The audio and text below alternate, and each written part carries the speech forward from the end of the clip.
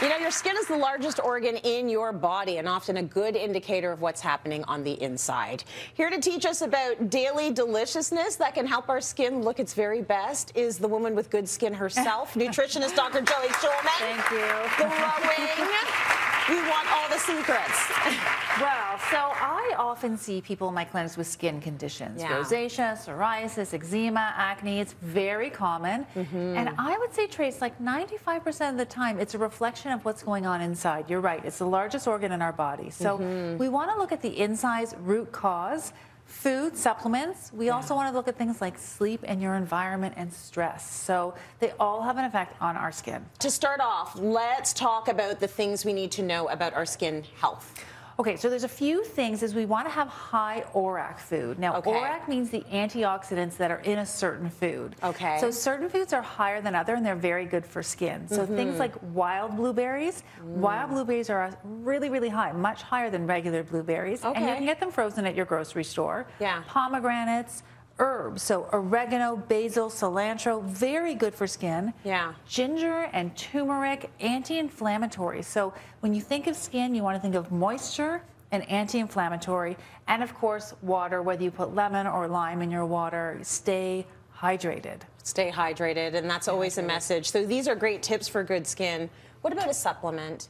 Should we be thinking about a supplement? Yeah, I mean, I love collagen. I've been Me using. too. Yeah, I love it. So collagen is the protein that holds stuff together. Yeah. Um, hairs, nails, skin. Um, bad news is after the age of 25, it starts to break down a little bit. 25? 25. That's so a little young. I'm two of those. So, so So I- you've been on top of it. So I've been really on top of Yeah. it. So I take collagen every day. Organika is a Canadian company. They've been around for 30 years. Their skin-specific supplement, Pure Beauty, is I put two heaping te- um, teaspoons into my smoothie. Okay. It has silica. It has zinc, which is good for acne Mm. and immune system.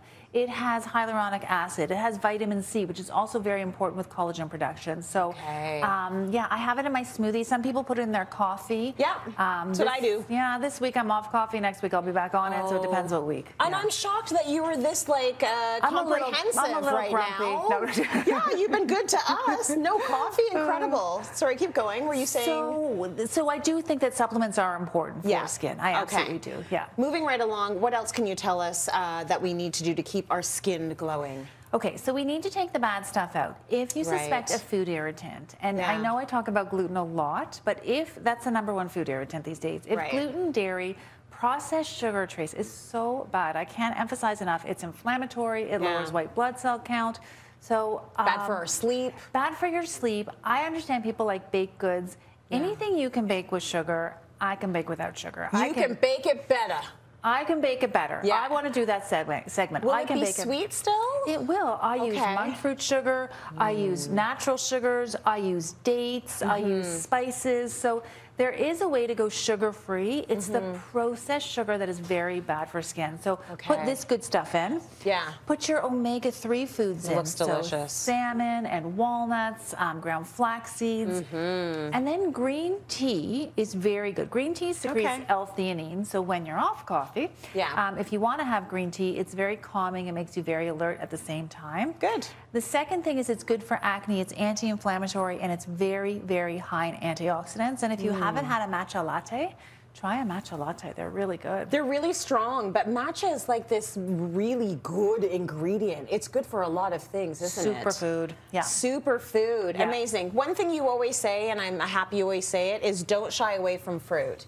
Because there are some, you know, diets, and they're Yeah. like, stay away because that's also sugar. Natural sugars, that's what you want in your life. Yeah, and we have to get back to the basics. Yeah. Fruit is so filled with phytonutrients and Yeah. so good for you that any sort of diet that cuts out fruit, com- no, It's a problem. it's a problem. Amazing. Impressive. Joey, Impressive. thank you.